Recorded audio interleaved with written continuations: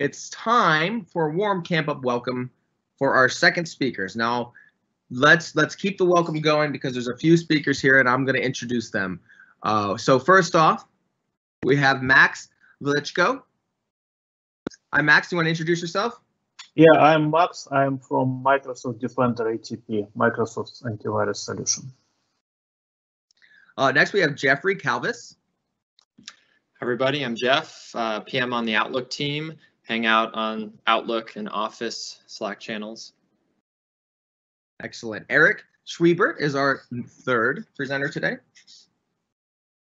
Hi, everyone. My name is Eric Schwiebert. I'm a principal engineer on Office for uh, Apple platforms, Mac, iPhone, iPad, uh, the whole gamut.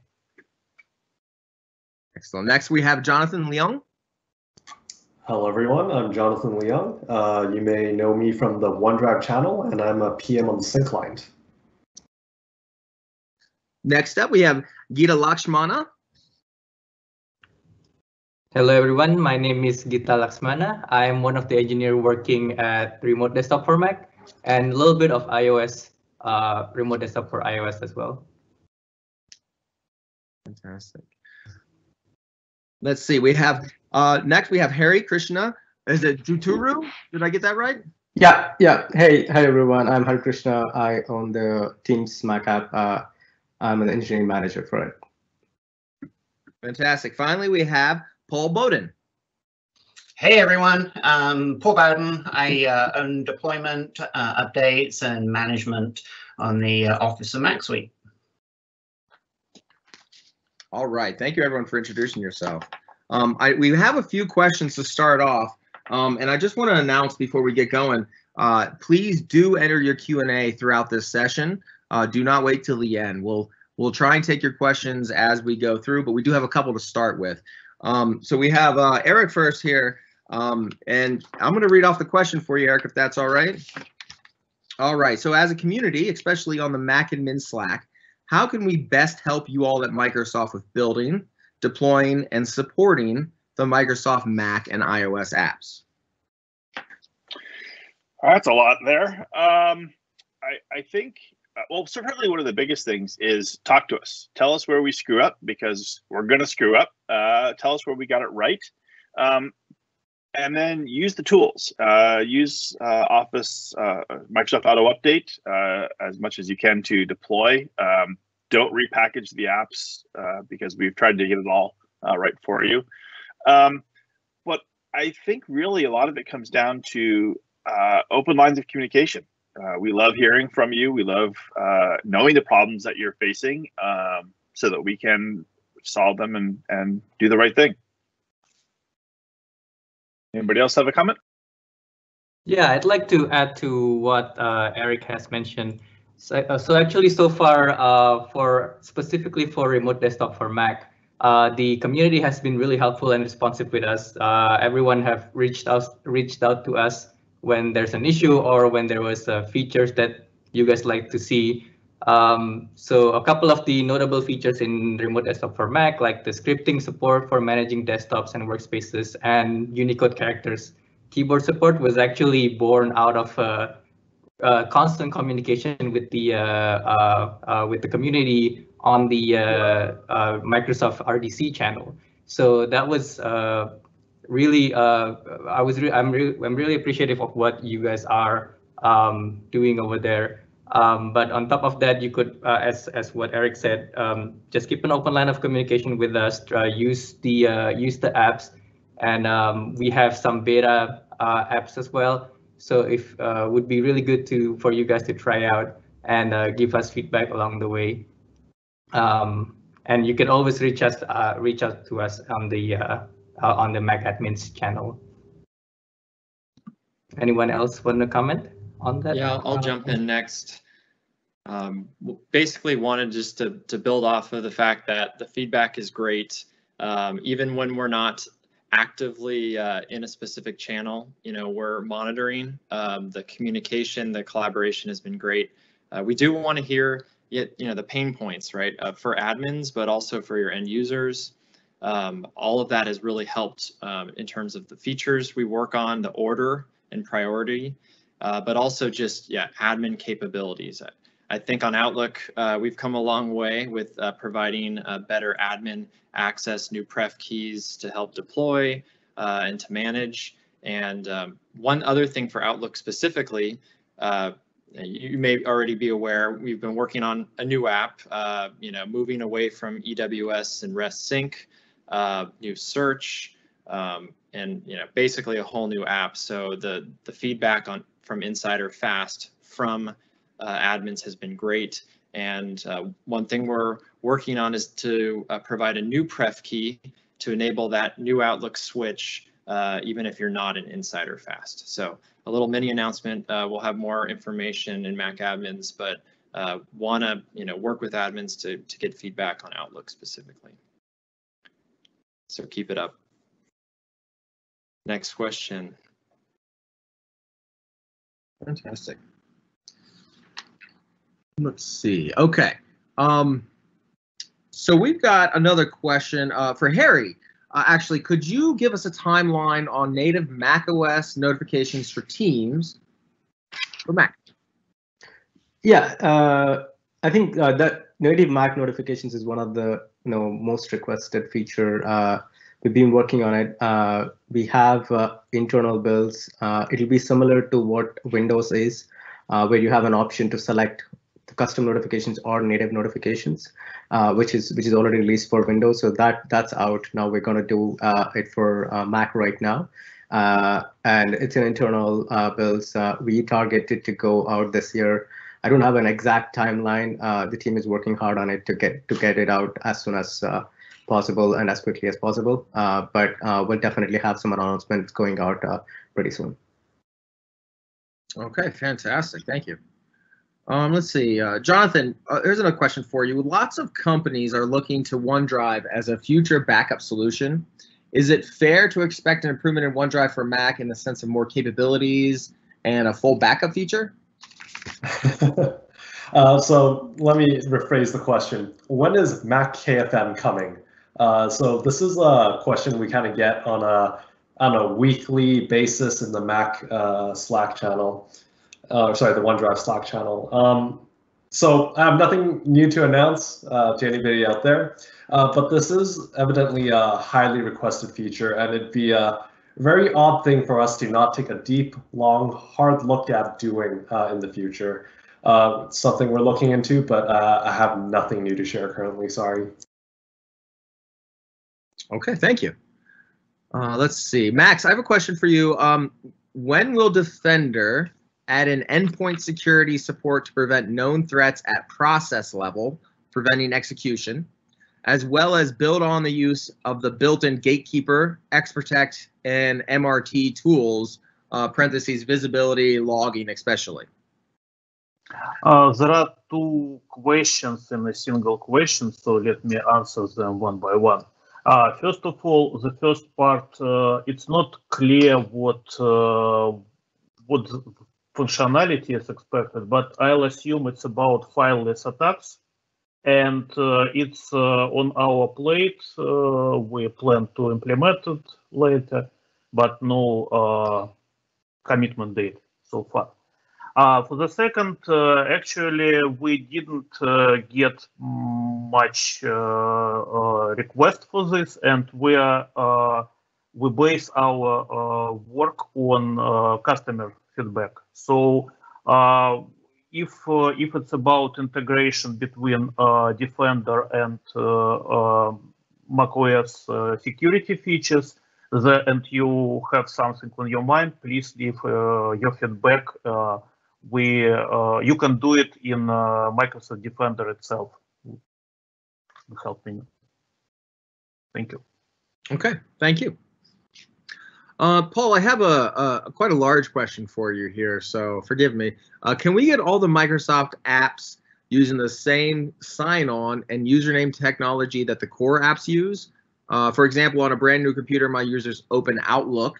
It pre-populates their username, activates a license, set up Outlook for them. I launch Teams, and I get to type in the username and have to tell it to access my organization access cert. Uh, OneDrive, I can launch and get it to type in my username and password and I have to go through several steps. Edge, I would like to have to do again, but it seems like I have to tell it my identity as well. So I think by default it should use the SSO creds, and then new identities can prompt for info, since they obviously are going to be different. Yeah, so this is a great question. It's a long question, um, but it's one that comes up uh, a lot and, uh, and and for several years. So so the the current state of play is as uh, anybody who's used the kind of the, the the core Office apps, Word, Excel, PowerPoint, Outlook, and OneNote knows. Um, we've uh, we've always had this kind of credential sharing via the keychain uh, for those apps. So you activate one of those apps and then the other four apps become automatically activated and, and, and signed in. And, and we've kind of been in that state for, for the last several years, but of course, the number of apps um, that we've developed um, has, has grown rapidly. Um, but the kind of the technology has, you know, previously always used their own kind of like storage mechanism for um, for the OAuth tokens. There's uh, some really exciting work um, that has been taking place. Uh, in fact, uh, my, my hat's off to, to Jonathan and the OneDrive team because they've been really kind of blazing the trail here. And uh, if, if you set up uh, uh, OneDrive in the last probably two to three weeks, you'll have noticed that if you've already uh, signed in with any of the other Office apps, then when you go to launch OneDrive for the first time, you uh, you you don't have to type your password again. Um, you can enter just you can either enter the uh, a different username or the same username as as what you you currently have, um, but uh, OneDrive will then instantiate um, a, a kind of a new token type in the keychain, which we call OneAuth. And one OneAuth is this new uh, stack that we're all migrating to for uh, for keychain sharing. And uh, in fact, uh, Edge has previously migrated uh, has migrated to that as well. So if you uh, if you run up Edge on your machine, it'll ask you to sign in and again, it won't prompt you for a password. It'll just consume that kind of OneAuth credential. And uh, then over the, the coming months, um, we'll have other teams coming online, um, including the Teams team and uh, and also uh, Intune Company portal as well. And we'll, we'll finally be able to get to this like nirvana scenario where I just have to enter my username and password once and then all of my other Microsoft apps um, just uh, consume those uh, same creds and same tokens. So uh, really exciting stuff that's going on here. Awesome. Sounds great. Congratulations again to uh, Jonathan. That was sounds like some great work. Um, okay, so the next question I think uh, for Hari, uh, for Hari, sorry. What do you see are the pros and cons of building the team's ecosystem on a cross-platform foundation like Electron? At the macro level, even outside of Microsoft, is the future is this the future of apps? From an admin perspective, we get consistent features uh, across desktop platforms. Um, but the iOS app feels like a better Apple platform app, uh, but is obviously limited in technology. Yeah, I, um, I think the when we take, took the bet on Electron like three years ago, uh, uh, with with moving to web apps and uh, leveraging the web technologies for uh, for all calling scenarios and you know the functionalities richness we're getting uh, and we, the the the pace we can deliver features or functionality to our uh, end users across Mac, Linux, Windows, all, all three platforms, and even web browsers, right? Like uh, even uh, different other endpoints which Teams is going after. Um, like the the the beauty of uh, Electron or any other web application uh, is your cross-platform ability and going out uh, to all the customers at kind of like the similar time frame. Like um, at the macro level as well, I think that's that's the biggest advantage we have seen. Um, uh, the con, I, I think, uh, is I, I I I don't have any uh, you know. Hey, are, what are the things which we are missing by doing this cross-platform Electron kind of an application? Uh, most of the native functionalities we can definitely integrate, like the native notifications or OS integrations to dark mode or any other things. Uh, we can definitely you know leverage those APIs. Uh, Electron as a framework, Node as a framework is providing us the extensibility model to integrate into this different uh, thing, different sort of different sorts of uh, OS abilities. Uh, again, with Electron and uh, with web applications, there is definitely you know heightened uh, uh, memory pressure, CPU consumption. I know that's this uh, that's that's a concern. We we know we are we are working against. That's the tide we're kind of you know trying to work against, and you know see how we can reduce our our memory footprint and and the CPU and CPU hit uh, the Teams app is gonna or any Electron app is giving onto the onto the machines, right? Like be it on Windows, be it on Mac, be it on Linux. Uh, it's the same story, but uh, again, different hardwares, different GPU drivers come into play. Different uh, you know features we are adding on top of Teams also have a lot of uh, uh, lot of implications, like you know seven by seven video streaming, custom backgrounds. Uh, which we are all using right now, which is also increasing the load on the CPU and GPU. So we're kind of working through that. So that's the con on uh, which we are kind of like working actively on. Um, uh, I I hope I answered answered that, but uh, anyone uh, would like to add to it on the web application, please do. Uh... Yeah, I'll, I'll, jump in. Um, so, so I've been a, a, native app developer for uh, going back to college, mumble mumble years ago. Um, I, you know, I, I, I think even as as the questioner commented, you know, there there are certainly pros and cons to both approaches. Um, the the Electron or web app approach, I think, gives you rapid prototyping, rapid uh, development, rapid deployment across multiple architectures, multiple platforms, which is great for getting a first product out, for getting the initial scenario, for for trying something new. It's wonderful for that. Uh, and as people have noticed, it misses some of the perhaps richer environment that's that's available on this native platform or that native platform. And so uh, I, I, think there are ways that you could say you could start with Electron and then add more native features on top, or as you transition, as you as you establish a user base and and, and functionality.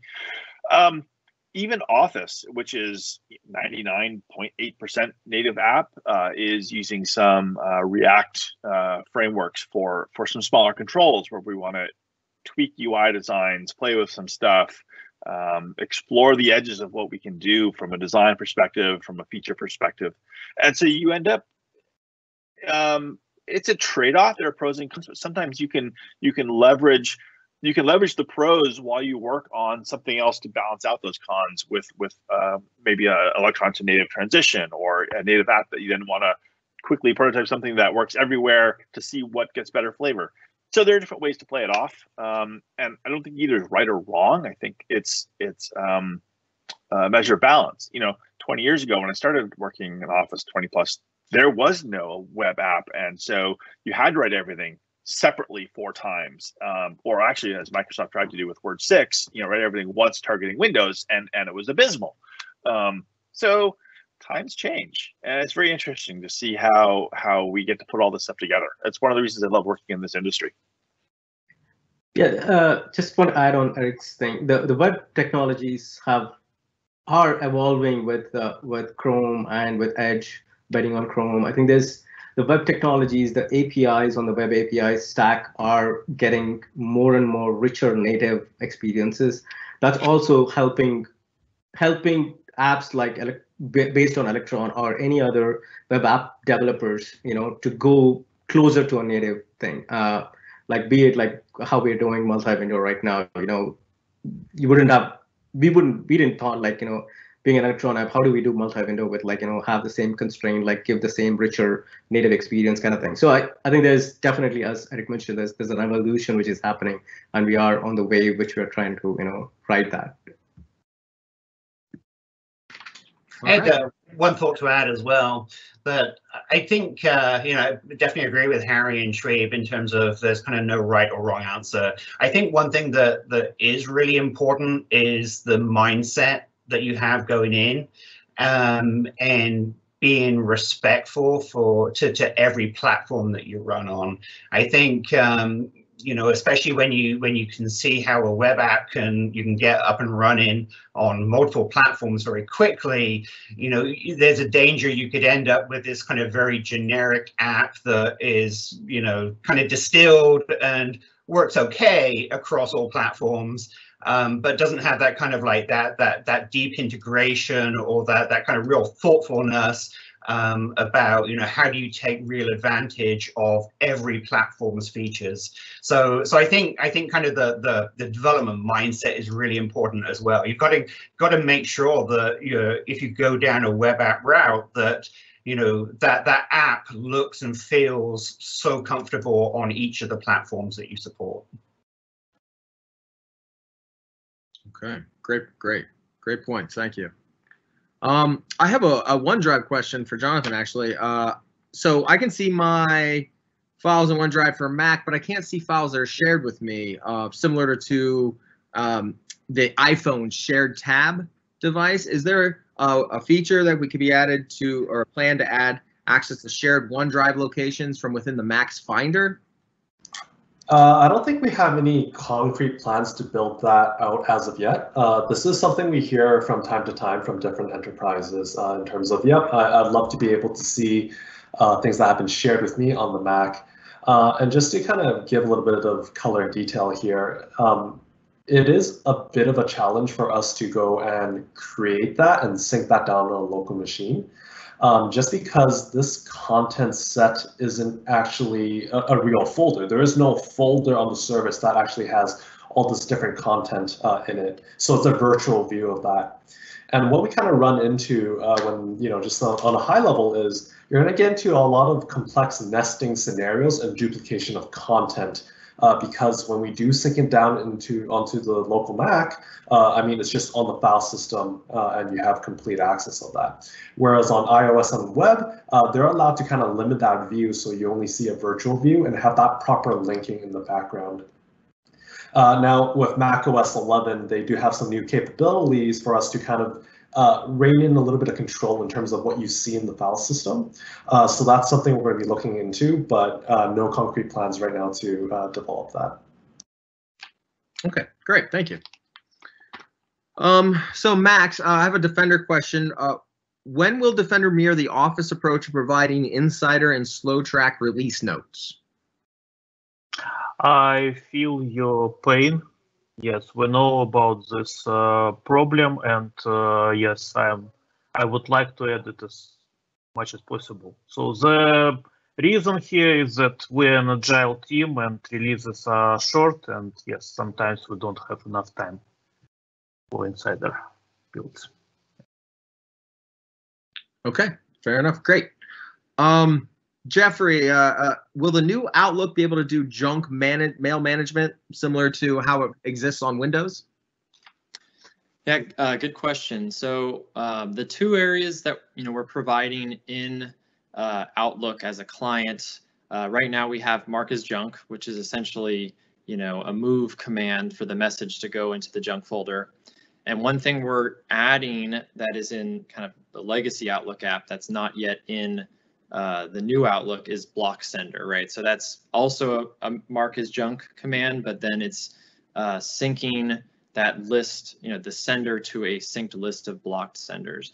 And a long-standing, you know, limitation of EWS and our legacy app was you couldn't, you know, view or change the list of blocked senders in the app itself. Uh, we would, you know, say use the web app. And so that's something that is coming. We'll be able to do. Um, I think you know when I look at junk mail management, like the actual you know heuristics of what's determined as junk and not. Uh, I think the general consensus is we're trying to move that to the service level. Um, you know, the, the service in aggregate is trying to decide what's junk, uh, you know, at a, at a larger level. And so I don't think, you know, the more client side approach of keeping a list of these what I think is junk, for you know maybe one or more accounts in Outlook is something uh, we're not planning to add. Um, really, what we're relying on is good junk mail management uh, by the account type, right? Whether it's your work account or a third-party consumer account, and so that's what um, you know that's what the plan is for now. And I think getting the synced, blocked, and safe sender list will be a good step. We'll want to get feedback on that, um, and then we'll go from there. Okay, fantastic. Um, Jonathan, I'm going to bug you again. I got another Outlook question. Can you, com- um, I'm sorry, not Outlook, uh, OneDrive question. Can you comment on when we'll see an official known folder move for Mac OS? And can you also explain what known folder move is? Sure. Um, uh, known folder move is the idea that you can move uh, some of the more important or common workplace uh, folders uh, into OneDrive so that any content you add in there uh, gets automatically backed up uh, by the service. Uh, so we have this feature on Windows today where uh, you can move your documents, pictures, and desktop folders into OneDrive automatically uh, so that you know all that content's backed up. I cannot comment on when it will be coming or if it will be coming on the Mac uh, as per the first question of the day for me today.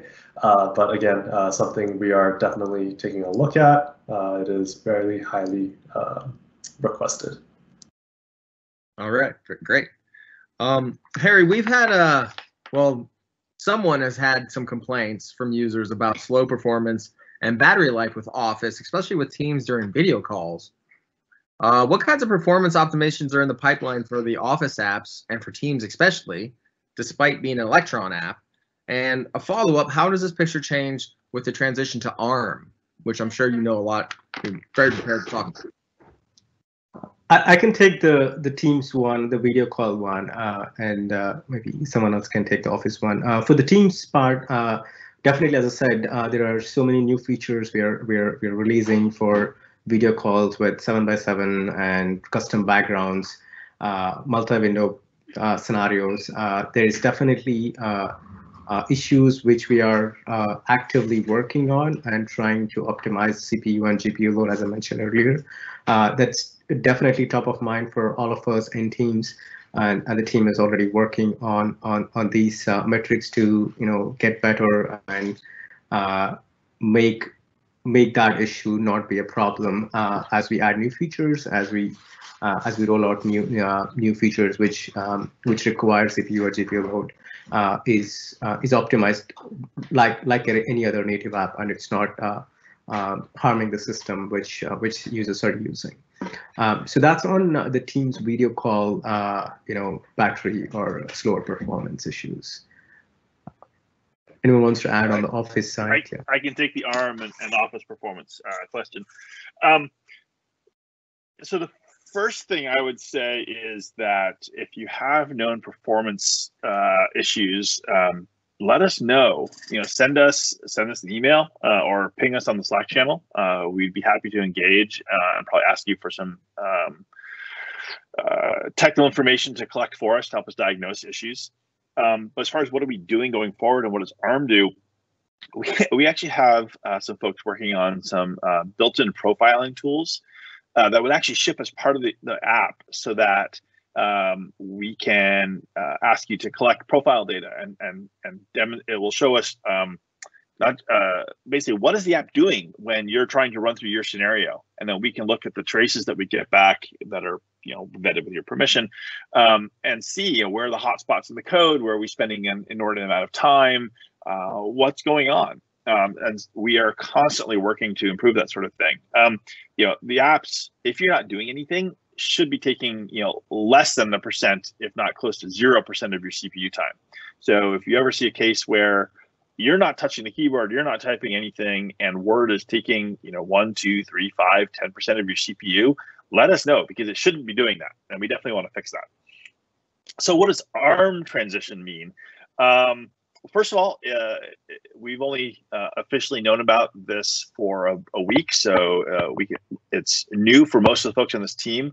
I actually spent uh, the last three months under NDA uh, working on bringing Office up on the ARM apps. If you saw that 30 second demo in the WWDC keynote uh, for Apple, that was real code that really was Office running on those ARM CPUs. Um, but it's new, and so we don't have a lot of specific um, knowledge or information. You know, we haven't seen actual Macs from Apple uh, running ARM CPUs so that we can do performance analysis on them. Um, the information that I saw coming out of WWDC is that the architecture is wildly different from Intel. Uh, instead of uh, all cores being exactly the same, there are there are high performance and low performance efficiency cores, and so there'll be some tuning we have to do on the apps. Um, you know, it's it's always historically been that just kick a task off to a thread, run it in the background. It doesn't matter; it'll get done at some point. And now there's been the notion of, well, should that run on a high prior, high performance or a low performance queue? Uh, if it's work that has to be done at some point and it doesn't really matter when it gets done, that can be a low performance, low, uh, you know, uh, low bandwidth task. Uh, just run it at some point system and get back just when you're done.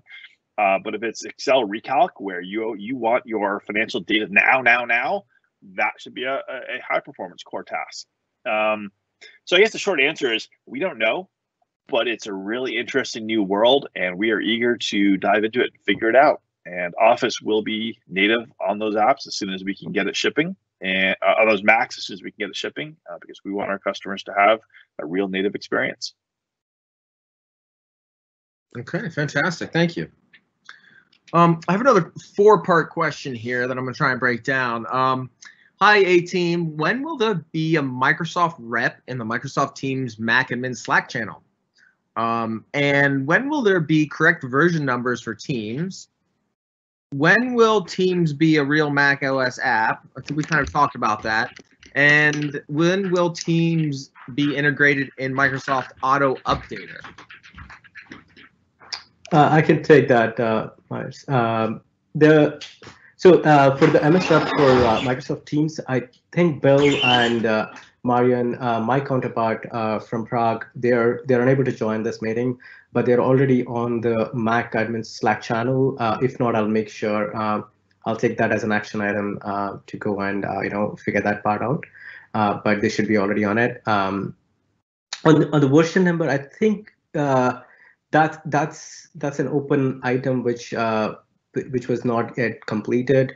I'll definitely uh, make sure that's uh, that's tracked out uh, properly. Uh, and Teams integration into Marv. Uh, this is being worked right now, and uh, I think it's in the backlog.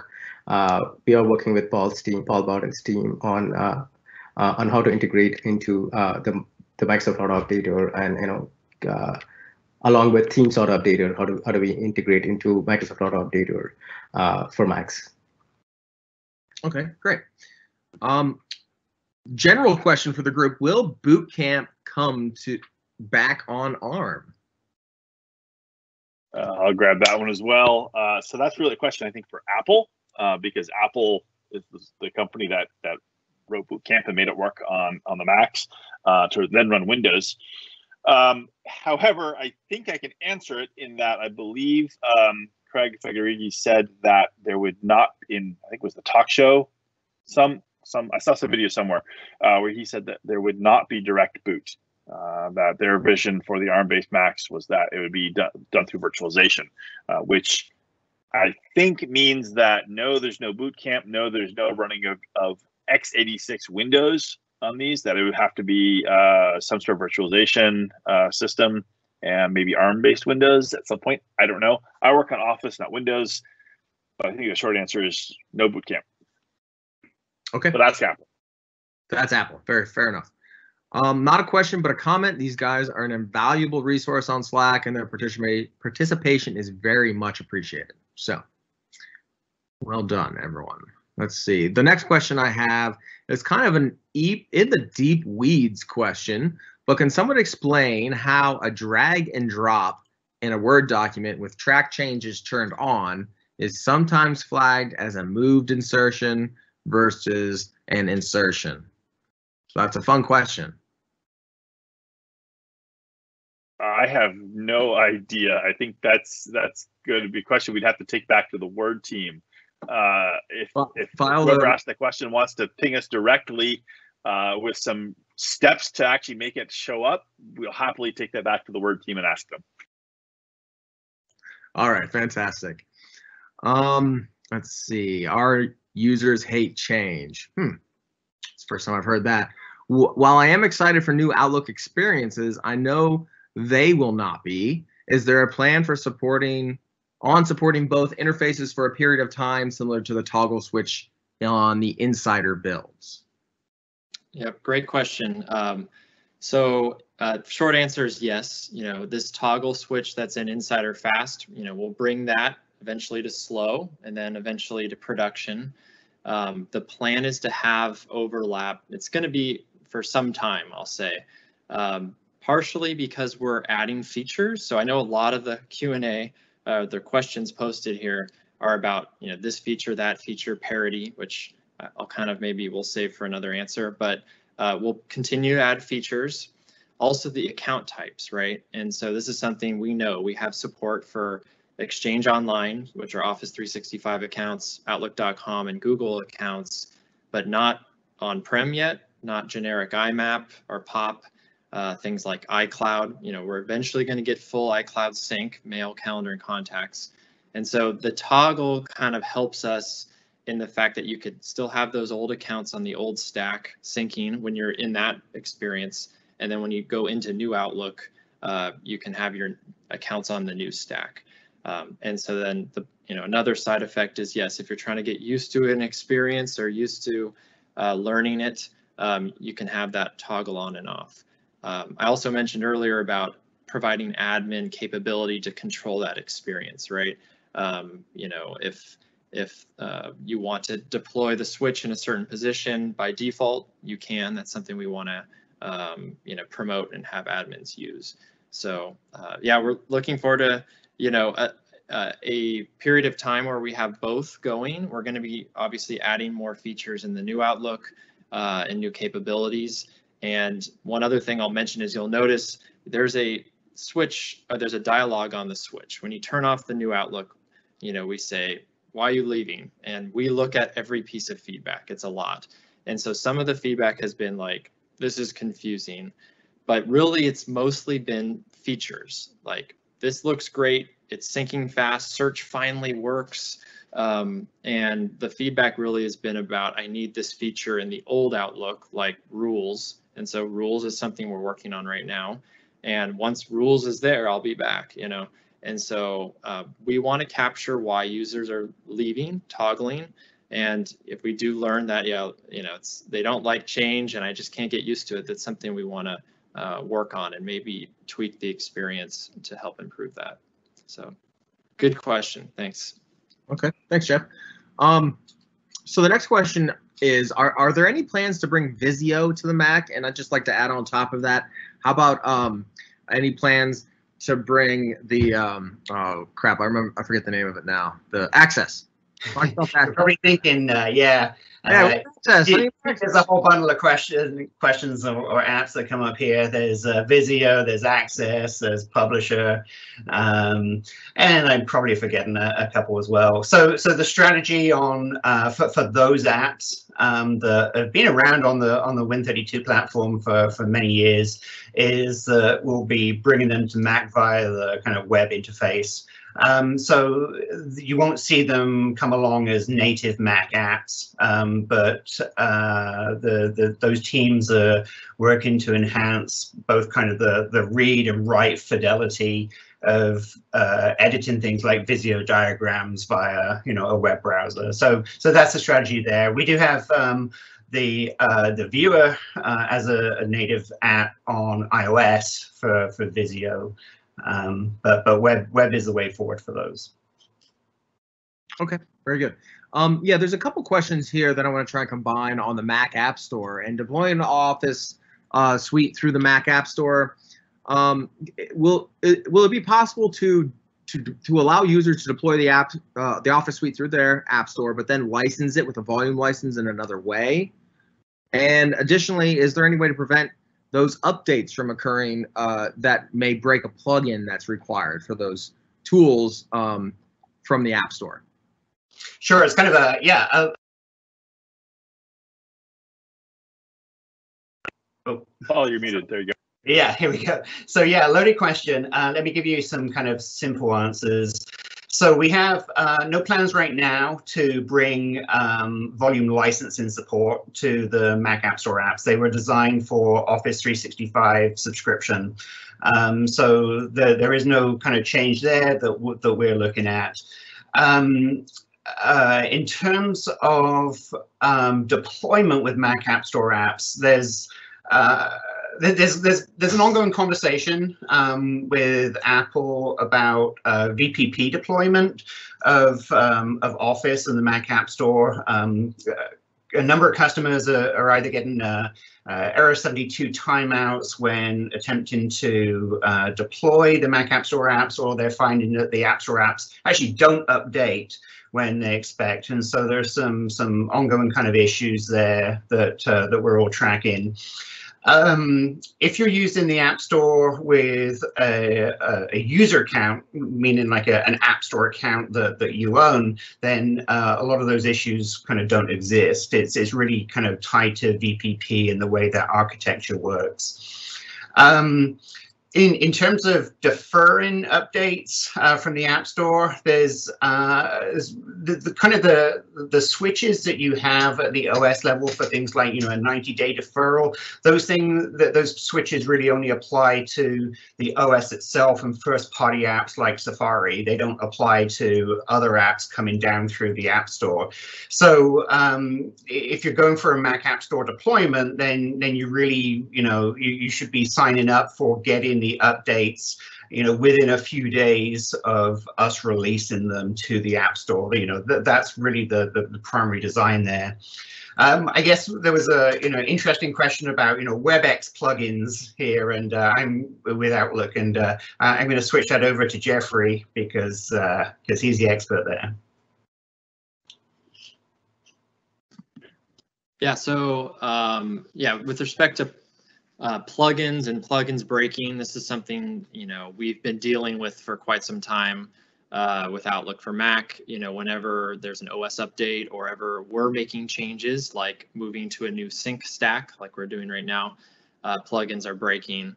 And so, really, we've been working on a path to move uh, toward using add-ins, the Office 365 add-ins, um, the top you know, meeting provider add-ins like WebEx and Zoom and BlueJeans, um, having those, um, you know, available and have having good functionality that they actually work in Outlook um, is something we're trying to move towards so that we can move away from those plugins that are breaking. And you know, when we look at the health of our app, you know, whenever we have a an update, um, you know, say we just released the June production update, we'll see these spike and crashes and then we'll find that they're all from coming from Zoom or something like that. And so month over month, our biggest, you know, crashers and your end users are saying Outlook's awful, like it crashes all the time. And it's oh, it's the Zoom plugin, right?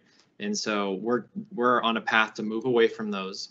Um, and and part of that is making sure that the add-in is working and doing what you know you would expect out of the plugin.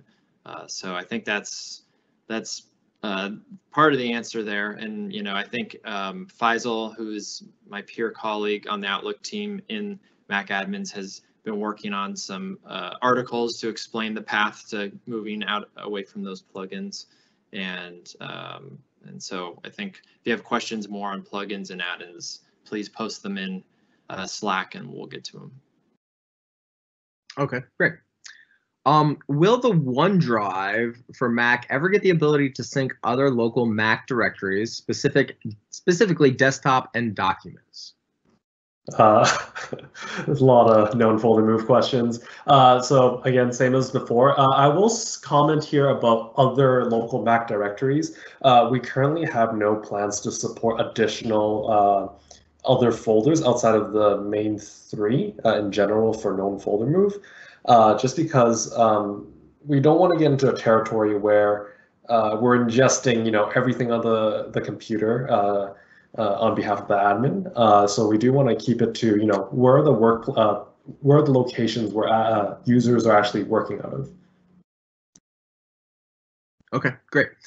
Um, another question: What is the best way to deploy Mac Office to be dialogue free, where end users can run and print on the first open. So maybe Word and um, PowerPoint or Excel open without a dialogue and allowing users to quickly print.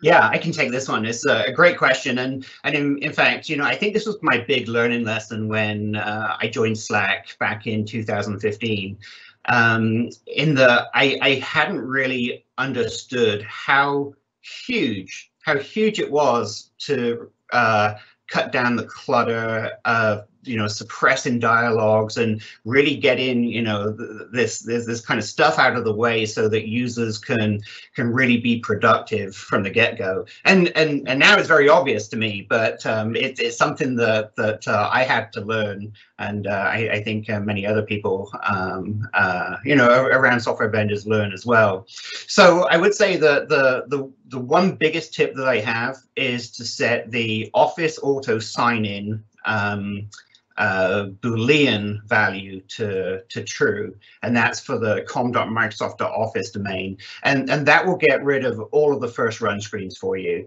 If you're a volume license, it will allow you to go straight to the kind of the doc stage and start creating documents. If you're an Office 365 subscriber, it will get you directly to that dialog where you can enter your, your uh, O365 username and password and get going.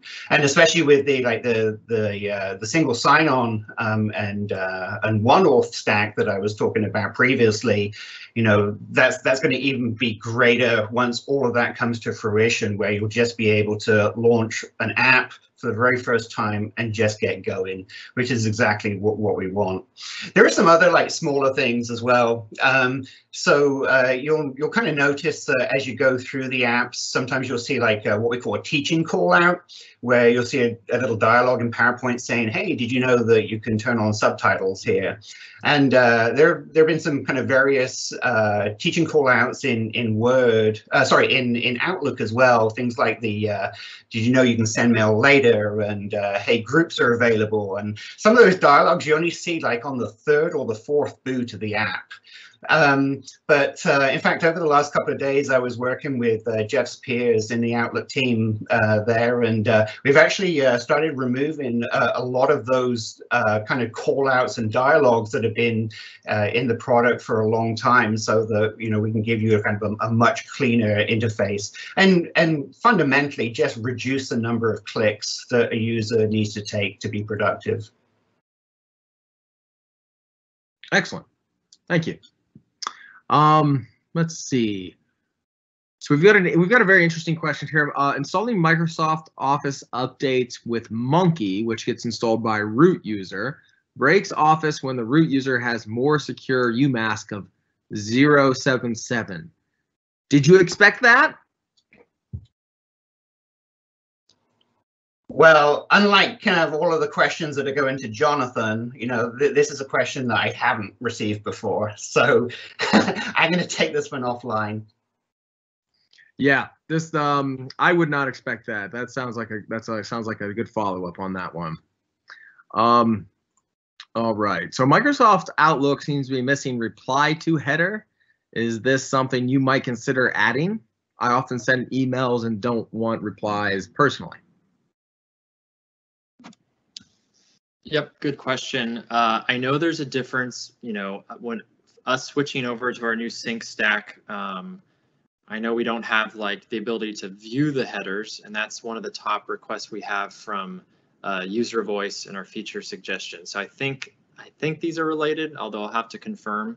Uh, so we have a request with our new, you know, sync team that we're working with about uh, the ability to, you know, view the headers or view source and um, if that is related, that's probably why we don't have it in the new Outlook.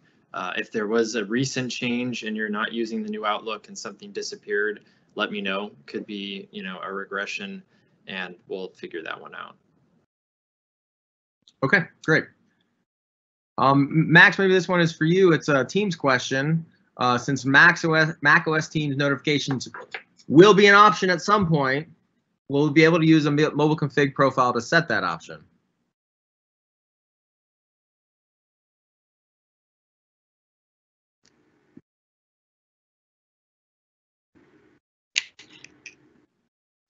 Uh, sorry, Myers. What? Can you hear me? Yes. Yep. We can hear you. Okay. Uh, it's a question for me, right? I'm assuming not for Max. Uh, I'm sorry. I'm, I'm sorry. Go ahead. Go ahead, Hari. Okay. Uh, no. Uh, I, I don't think that's that's in the plans for uh, the configuration. I'll make sure uh, that that's uh, that's taken back to the team. Fantastic. I'm sorry. Hari is uh, defender. Uh, no, I'm sorry. Max is defender. Hari's teams. I'm still figuring this out. I'm working on it. It's all right. We'll get through. No worries. um, is there any news on an Azure SSO extension for macOS?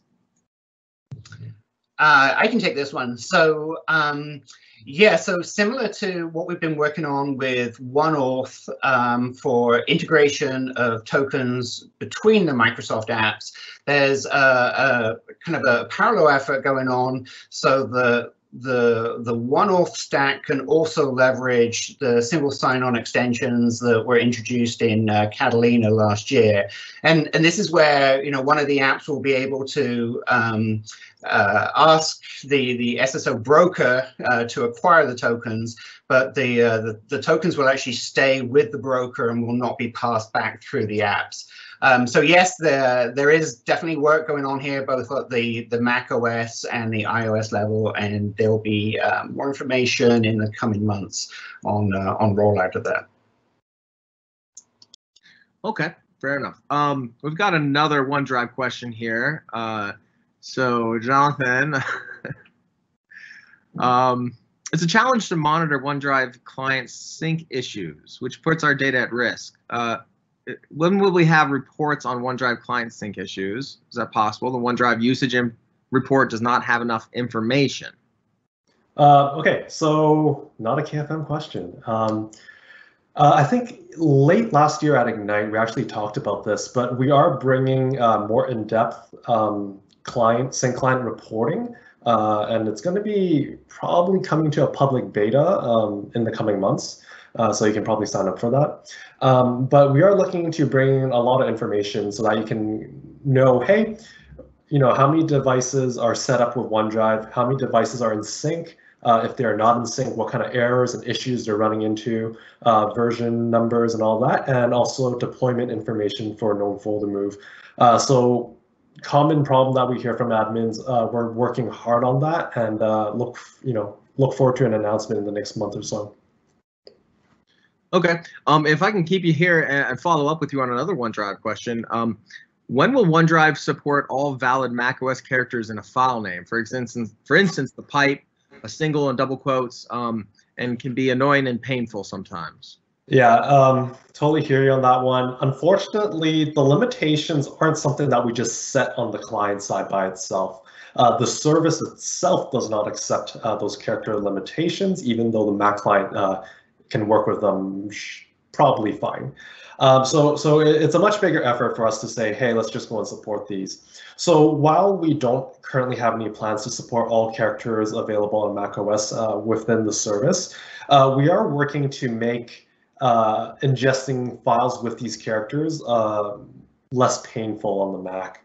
Uh, so we're looking to build automated scripts uh, whenever we do run into these issues. That the resolution is you press one button and it will help you rename and fix up all these characters for all the files inside the OneDrive namespace. Um, so we're currently working on that, but uh, evidently not available yet. Okay, very good. Um, are there any chance of DBL or DBS licensing similar to on the Windows likely to happen? I can take this one. It's uh, so this is around uh, device-based licensing, uh, shared licensing, uh, also sometimes called shared computer activation, but it's it's where you don't have a kind of a, one-to-one relationship between the computer and the user, where you have like multiple users using the same um, physical machine. Um, it's kind of prevalent in especially in like EDU scenarios. Um, and kind of healthcare scenarios as well, labs. Um, this is one of those questions that uh, I think, you know, once we solve this problem, I'll be able to retire. Um, and unfortunately, I'm, I'm kind of not close to retiring yet, so it's uh, it's still going to take a, a while. Um, I would uh, I would uh, recommend that if you do have like shared computers uh, that you need to get up and running, that you continue to use volume licensing for now. Um, as uh, we've got shared computers activation on the backlog, but um, nothing anytime soon, I'm afraid. All right, very good. Um, let's see. Windows Outlook has a cleanup conversation command. Will that come to the Mac Outlook? I don't know if that's a question All for right. The first of many parody questions, which maybe I'll, I'll answer cleanup, but then I'll, I'll speak generically. Um, right now, no plans for cleanup conversation. I know it's actually a, a personal favorite of many folks on our team.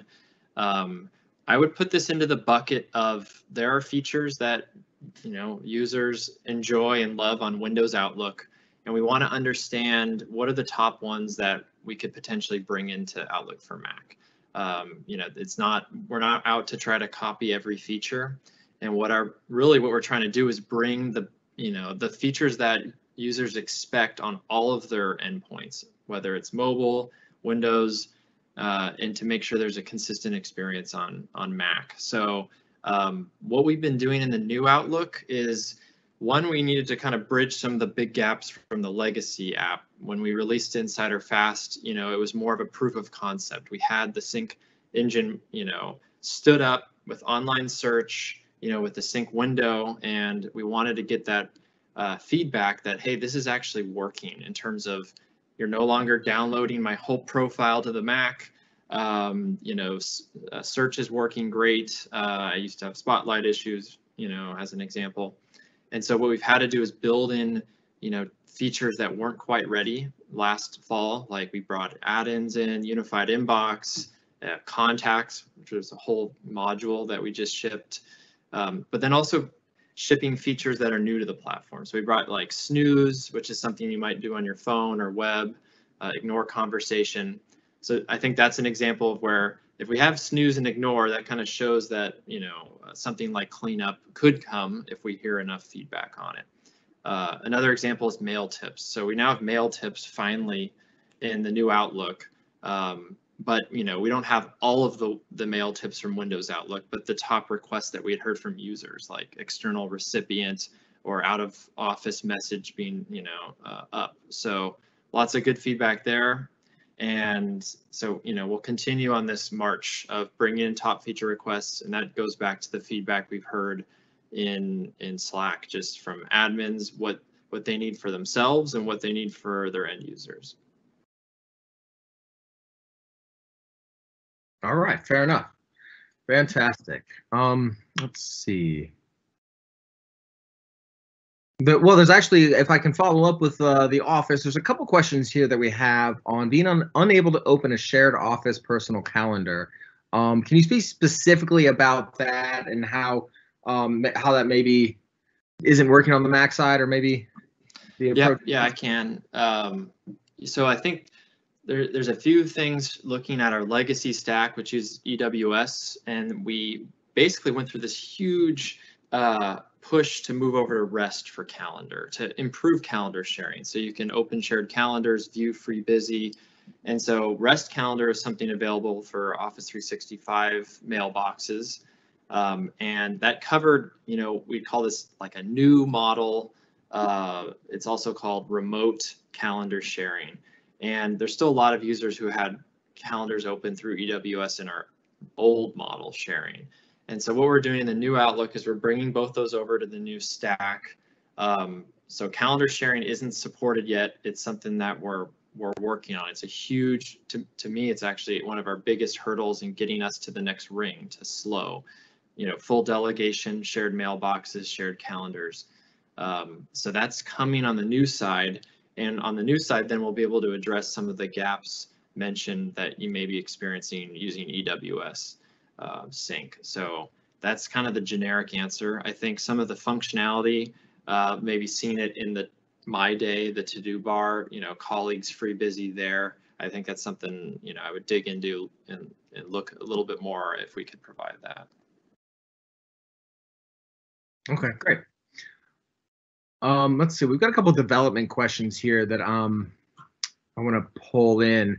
Uh, will there be a process to beta test ARM-based applications um, or a uh, an Office deployment toolkit available? And those may not be the exact same things. I may be confused. They're, different, but I can grab those.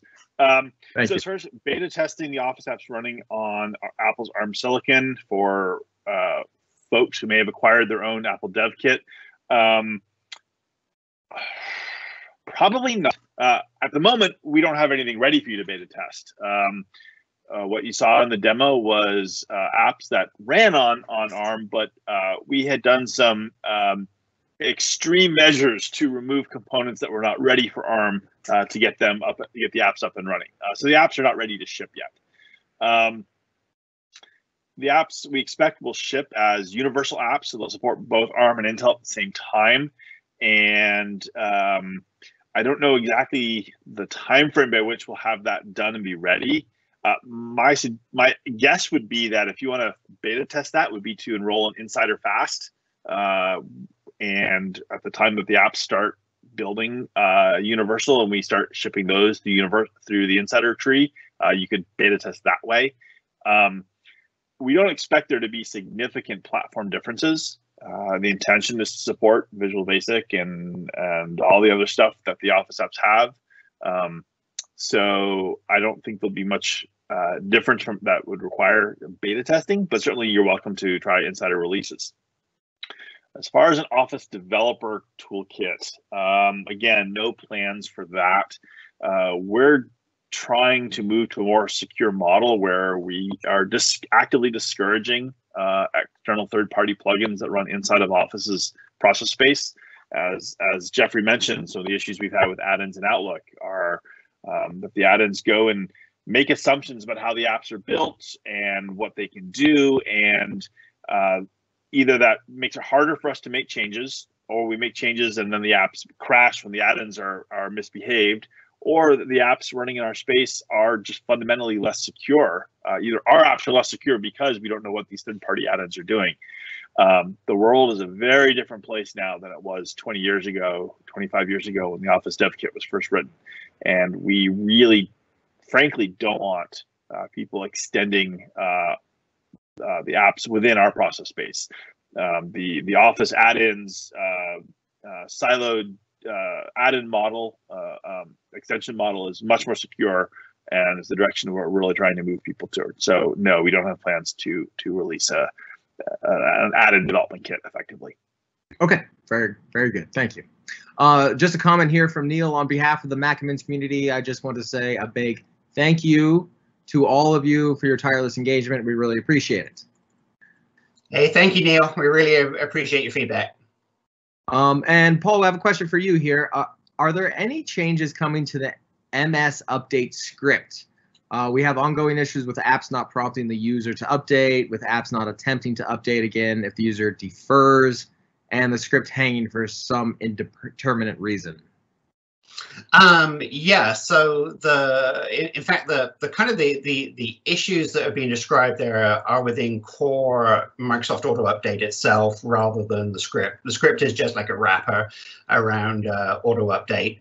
Um, so we've uh, we added some features over the past few months um, that uh, weren't working in all scenarios. So we had a big push um, in the last six weeks to get things like um, the deadline um, portion of auto update uh, working properly in, in all of the expected scenarios. There's a couple of scenarios that we're still tracking um, that uh, that aren't working still. Things like um, the deadline dialog will come up before uh, updates are ready to install. So you kind of like you hit the button to quit and install apps, and only then does it go and start downloading the updates. So so th- things, some of the process is, is a little bit back to front.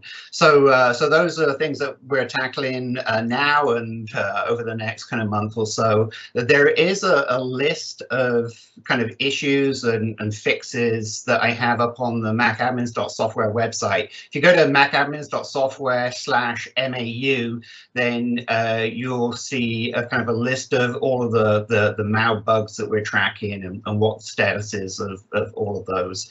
And then once we get those kind of core MAU issues resolved, then uh, there, there won't need to be any changes uh, to the uh, MS update script. Okay, great.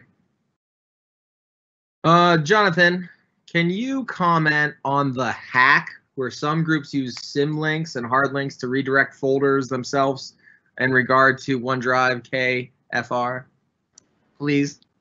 Sure. Um, so I don't think there's ever going to be a world where I'm just going to be like, yes, go ahead and do that, uh, because that kind of implies we've played around with it, we've tested it, and you know we gave it the seal of approval and everything works. Uh, in theory, it should work. You know, it's just a redirection. The sync line should just go through it. Uh, but it's hard for us to say, you know, yes, go ahead and do it without you know us doing any validation on, on that sort of thing. Yep, fair enough. Very good. All right. Um, is there anything on in the works to make sure that Outlook syncs accurately on the Mac app as it does on the PC? For example, in some organization, they've noticed um, mail and calendar sync not correctly working on the Macs where it is working on the Windows side. Um, and that in another person's calendar, they don't know if they see is accurate or not um, and they've had to use the web app instead. Yeah, good question. Uh, so the answer is the new stack we're using in the new Outlook. Um, it's shared sync stack that's used by Outlook on iOS and Android, and also the Win 10 mail and calendar apps. So uh, it's, you know, in what we've seen in the past year plus uh, from developing it, is just way more reliable. It uses a sync window, as I mentioned, so we're not downloading everything to your Mac and using up a ton of space. Um, and really, in terms of yeah, search, uh, online search uh, comes with that. Uh, if you're seeing issues in the new Outlook, where yeah, something's on the web or something's on uh, Windows Outlook, but it's not yet on uh, your Mac, then we definitely want to know about it. Um, we ran into so many issues with EWS. We've used it for 10 years. Um, its time has come, you know, and that's really what what's helped us move to this new stack. We we've been trying to fix issues left and right with calendar sync and mail sync and reminders popping up, which is something I I've seen uh, mentioned in the Q and A. You know, I think in using this app, we've been using it internally for a while now, and the feedback we've received in Insider Fast uh, it really is a huge improvement. Um, and uh, but we're not yet in production. We want feedback and we want to hear uh, from users who are having problems. Uh, so that's that's the answer for it. Fantastic. Um, I, I want to go a little more high level um, because we do have a lot of questions that are very specific on uh, feature parity between apps. But at a higher level, um, is, is, there anything being done to ensure that the new features that are brought to one platform are considered for both platforms? Uh, I can start with Outlook particular. Yeah. Uh, go ahead. Go ahead. Yeah, I think it applies to everything. And also, it's a good question overall because we talked about teams and their approach. Uh, it's something we're always thinking about. Uh, you know, I'd say uh, we've evolved on the Outlook team from a you know very platform specific we need to stabilize we need to make sure we're not crashing all the time that was our focus to a more with this new stack an ability to deliver features and I, so i mentioned earlier it's not about copying everything from windows outlook uh, it is about you know adding the top requested features um, you know in your organization there might be something you're like we need retention policies. You know i've heard that for years like and this is something now we've finally been able to have these conversations because that wasn't supported by ews so um, it is you know it's it's on the forefront uh, of our minds as we plan the product we're going to roll out. It's a feature by feature discussion uh, really and so it's not you're not going to see a bunch of features dumped one day but if you've been using Insider Fast, you'll know we've been adding features consistently since November, since we debuted uh, in Insider Fast. And so we'll continue to keep doing it. And it'll be stuff that you're familiar with from Windows Outlook, but new stuff that you're seeing popping up, you know, maybe on Outlook on the web. Things like when you do a search, you know, uh, getting better suggestions, getting, you know, maybe mis misspelled something in your search, getting that correction uh, on the editor side, more advanced editor functionality uh, to help you with, you know, composing and grammar and things like that, accessibility. So It's it's more about making sure the new features that you see in phone and web are coming to Mac faster and not just us like conditional formatting. That's on Win32 Outlook. Let's get that over to Mac Outlook. So uh, it's uh, it really is based on all of your feedback. So we're listening. Excellent, fantastic. Let, let me take part of that then as well, uh, kind of more broadly. Uh, it's a broad question. It's a kind of a broad answer. Um, so when we when we talk about feature parity across platforms, there's there's kind of two things going on. You have what does a given platform require you to do, and what does a given platform allow you or offer you to do in terms of functionality. And one can be a constraining issue. They can both be constraining or or granting uh, uh, aspects. For example, the Mac Sandbox is a constraining aspect. We have to honor the Mac Sandbox to have our apps in the Mac App Store, and that puts requirements and restrictions on what the apps can do. Uh, it it greatly reduces some of the cross-process communication functionality. Um, that's why third-party plugins and add-ins that drive away can be challenging, uh, or it requires you to change how your macros work, to, to ask for permission to write to a file. Uh, these are things that that Apple, in, in their infinite wisdom, has said this is the policy on this platform and what we're going to require apps on this platform to do. And so you end up with constraints and requirements that are different on the Mac than you do on Windows because of what the the underlying operating system requires you to do the other side of that is what are features that the platform lets you do because it has some technology that may not exist anywhere else. Uh, if we go back and look at Access, I don't know what their current implementation is, but many, many years ago, Access used uh, their underlying database engine was this thing called JET that was fundamentally tied to uh, running on Intel processors using some some uh, Apple some, some Windows APIs. And when the Macs were PowerPC based, we couldn't, literally couldn't port the code because it required features that were only available on the chipset and the operating system. So, so that's why this whole notion of say Electron apps stepping up to a higher level, looking at what can you do anywhere, port your write once, run anywhere, is in some ways very compelling and very interesting. And then you can deliver your features anywhere. Um, at the same time, it's also perhaps not native to that platform. Uh, and so you end up with feature gaps because you know the, the the the UI isn't the same or doesn't have native notifications or, or whatever happens to be. Um, so so if we take a step back and we look at the, there are these these requirements, restrictions, and benefits that that different platforms bring into the mix when you're trying to target an application that runs across the board. At a high level, we really want the features to be anywhere. And so the degree to which a feature can be anywhere and can be written, designed, planned, implemented from the beginning to be available on all platforms, absolutely, we're going to make it available everywhere because that's the right thing to do for our customers who want that universal Office experience. The degree to which an existing feature, perhaps a legacy feature, was targeted, written, designed on a particular platform for a particular platform's capabilities, that's a harder thing to talk about bringing forward. And so then when Outlook's looking at, hey, let's bring up a whole new stack, it takes time and it gets us to a place where Outlook can then be much more feature parity across all, all of its platforms because it's designed to be that way. And that's that's a fundamental paradigm shift that Microsoft has been going through for many years. I think it's absolutely the right thing to do, but it takes a really long time, particularly when you have really big apps that have been around. I mean, Mac Outlook even was called Entourage, has only been around for what 15 years, 18 years. Excel's been around. Excel was the first app ever written for the Mac back in 1983, before the Mac shipped publicly. It's old, it takes a while to move that code around. So, I guess the short answer is we are wrestling with platform restrictions, platform capabilities, legacy code, and the desire to meet our customers where they are. And it's challenging to put all those rocks into one basket. We're working on it, um, but it may not all get there. It kind of depends on which levers you pull. Excellent, fantastic. Thank you for that follow up. It was very good.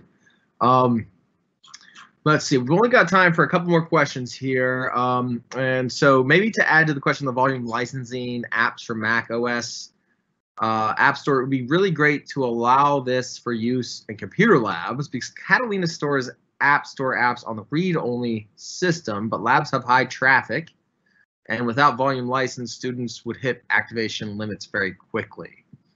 Um, so as far as deploying Office in a lab and, and Mac App Store versus other methods, um, are there any comments there? Yeah, so uh, so I can take that one. It's it's kind of similar to some of the other comments I had. I definitely see where um, where the where the poster is going because I, uh, I mentioned that in shared computer scenarios, it's always best to use volume license. But of course, Mac App Store only supports subscription. Um, so, so those two things seemingly uh, are in conflict. The, the the one kind of problem you get back to is that in, in, a in a kind of a shared computer environment, you would need to be deploying the Mac App Store apps via VPP, which is a method that currently doesn't work well. Um, so we would still get back into that conversation that really your, your kind of your best practice um, for for that type of scenario is to acquire the uh, the Office apps from the content delivery network and, and use MAU for updating them. That that would be the most reliable way. Okay, fantastic. Um, I think uh, this this is probably going to be the last question, and it, I'm gonna I'm gonna make it a little more generic. Uh, how would someone join the um, technical preview or fast track programs for any of these applications? Sure, I can take that one as well. Um, so if uh, if we're talking about the core Office apps of uh, Word, Excel, PowerPoint, Outlook, and uh, OneNote, um, to to get kind of the the beta um, the the beta releases, you'll definitely want to acquire them from the Content Delivery Network, not the Mac App Store. Um, the second is that if you go into um, Microsoft Auto Update, um, there is a kind of a drop down there where you can uh, choose between um, the production channel versus the Insider Slow channel versus Insider Fast. Um, production, you're only going to see one one build a month go out.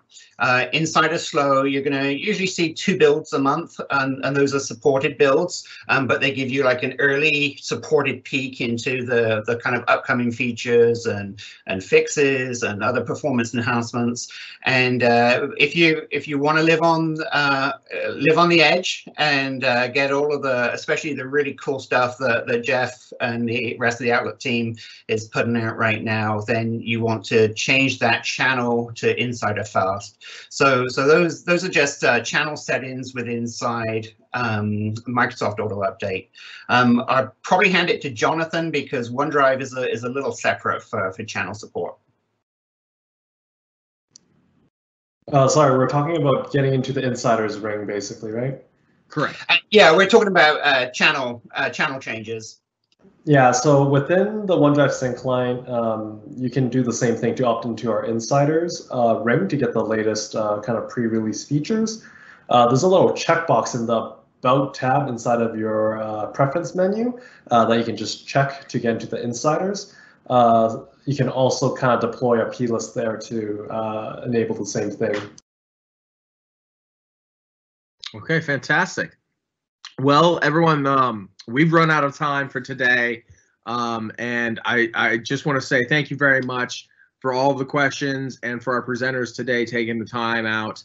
Um, we've got a lot of additional comments here on how awesome this event has been, how it's great to see so many of the Microsoft people um, in the team, in the Macadmin Slack and reaching out and being available to do this. So again, thank you to everyone. Uh, really appreciate you taking time out of your day to come join us. Hey, and Russell, thank you so much, and the rest of the PSU team for inviting us to come along. I, I think this is uh, the Campfire series has just been incredible this year. Thank you. Well, we really appreciate it. Thanks again.